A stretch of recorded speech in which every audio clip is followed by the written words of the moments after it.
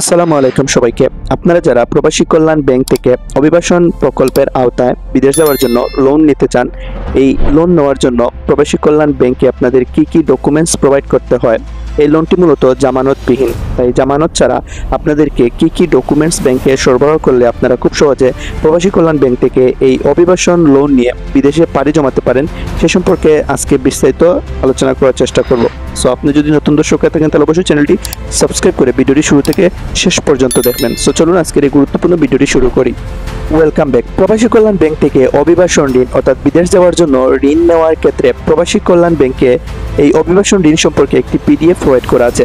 আপনারা চাইলে এই পিডিএফটি ডাউনলোড করে এ সম্পর্কে বিস্তারিত জেনে নিতে পারেন। এই পিডিএফ মূলত এই লোনটি নেওয়ার জন্য, অর্থাৎ অভিবাসন, বিদেশ যাওয়ার জন্য লোনটি নেওয়ার জন্য কি কি ডকুমেন্টস আপনারা ব্যাংকে প্রোভাইড করবেন, তাছাড়া এই ঋণের সীমা আপনারা সর্বোচ্চ কত টাকা পর্যন্ত আপনারা ঋণ নিতে পারবেন, তাছাড়া এই ঋণের মেয়াদকাল, এই ঋণের পরিশোধ সূচি, ঋণের সুদের হার এবং সেবা প্রদানের সময়সীমা সম্পর্কে আপনারা জানতে পারবেন।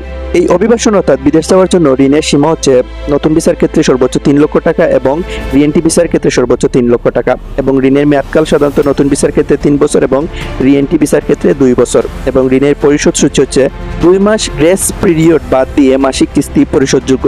সুদের হার হচ্ছে নয় পার্সেন্ট সরল সুদ হারে পরিশোধ করতে হবে। তাছাড়া সেবা প্রদানের সময়সীমা হচ্ছে যথাযথ কাগজপত্র আবেদন প্রাপ্তির সাত কর্মদিবসের মধ্যেই আপনারা এই লোনটি পেয়ে যাবেন। বিশেষ দ্রষ্টব্য হচ্ছে এই ঋণের কোনো সার্ভিস চার্জ নেই।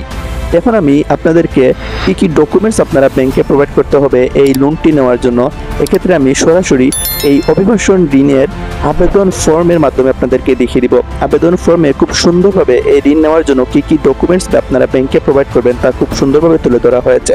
সো আমি এখন এই আবেদন ফর্মটি ডাউনলোড করে আপনাদেরকে দেখিয়ে দিব এই লোনটি নেওয়ার ক্ষেত্রে আপনাদের কি কি ডকুমেন্টস দিতে হবে, কীভাবে জামিনদারদের ডকুমেন্টসগুলো আপনারা প্রোভাইড করতে হবে, কীভাবে কি করতে হবে, যার মাধ্যমে আপনারা খুব সহজে প্রবাসী কল্যাণ ব্যাংক থেকে এই অভিবাসন অর্থাৎ বিদেশ যাওয়ার জন্য লোনটা আপনারা সহজে পেতে পারেন। সো আমি এই ফর্মটি ডাউনলোড করে এ বিষয়ে বিস্তারিত বলে দেওয়ার চেষ্টা করতেছি। ভিউয়ার্স আপনারা দেখতে পাচ্ছেন যে প্রবাসী কল্যাণ ব্যাংকের অভিবাসন ঋণের একটি আবেদন ফর্ম এটি চার পেজের, প্রথম পেজে মূলত আপনাদের এনআইডি কার্ড অনুযায়ী এই পেজটি ফিল আপ করে দিবেন। তারপর দ্বিতীয় পেজটি হচ্ছে আপনাদের জামিনদারদের ডকুমেন্টসগুলো এখানে প্রোভাইড করবেন। এখানে মূলত দুইজন জামিনদারদের ডকুমেন্টসগুলো মূলত এখানে প্রোভাইড করতে হয়। আপনারা দেখতে পাচ্ছেন যে এক এবং দুই, এখানে দুইজন জামিনদারদের ডকুমেন্টস প্রোভাইড করতে হবে। তাছাড়া দুই কপি সত্যায়িত ছবি, ভোটার আইডি কার্ডের সত্যায়িত কপি স্থায়ী ও বর্তমান ঠিকানা সহ মেয়র, চেয়ারম্যান দেওয়া সার্টিফিকেটের সত্যায়িত কপি।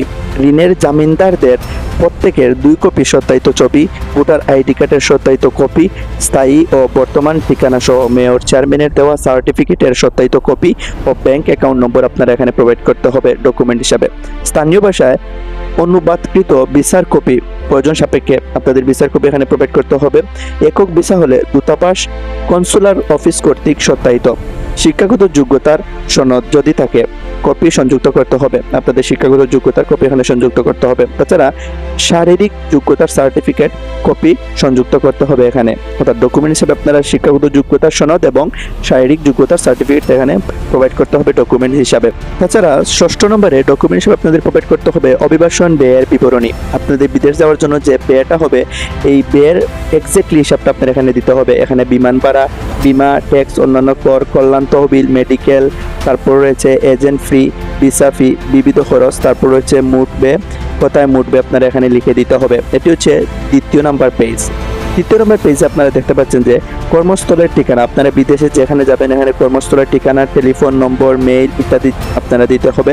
তারপর ভিসার যথাযথ বিষয়ে বিএমএটি করতে হবে, এখানে বিএমএটির ফটোগ্রাফি দিতে হবে। তারপর গৃহীত ঋণ ফেরত দানের ফিরিস্তি মূলত আপনাদেরকে ডকুমেন্ট হিসাবে জমা দিতে হবে। তাছাড়া দশম নম্বরে রয়েছে কর্ম অভিজ্ঞতার সপক্ষে সনদ প্রয়োজন সাপেক্ষে যদি সংযুক্ত কপি আপনারা যুক্ত করতে হবে। তাছাড়া রয়েছে যে এজেন্সির মাধ্যমে বিদেশ যাবে, সে এজেন্সির প্রত্যয়ন সংযুক্ত করতে হবে। তারপর হলফনামা সংযুক্ত করতে হবে। তারপর বিদেশগামী কর্মীর পরিবারের বিস্তারিত বিবরণ আপনারা এখানে তুলে দিতে হবে। পরিবারের সদস্য সংখ্যা, পরিবারের কে কি করেন, এগুলো আপনারা এখানে দিতে হবে। তাছাড়া আবেদনকারীর সম্পত্তির বিবরণ আপনারা যারা বিদেশ যাচ্ছেন, অবশ্যই উনি আবেদনকারী হবেন। ওনার সম্পত্তির অর্থাৎ দেশে ওনার সম্পদ কী কী রয়েছে, এই সম্পদের বিবরণ আপনার এখানে দিতে হবে। তাছাড়া জামিনদারদের এখানে মূলত দুটি স্বাক্ষরের প্রয়োজন হয়। আপনারা দেখতে পাচ্ছেন যে তৃতীয় পেজে জামিনদারের স্বাক্ষর এক, দুই। এখানে মূলত তারা স্বাক্ষর প্রদান করবেন।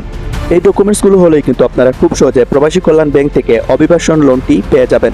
এখানে আমি আপনাদেরকে অভিবাসন ফর্মের মাধ্যমে দেখিয়ে দিয়েছি কি কি ডকুমেন্টসগুলো আপনাদের ম্যানেজ করতে হবে, কি কি ডকুমেন্টসগুলো আপনারা প্রোভাইড করতে হবে এবং কয়জন জামিনদার লাগে।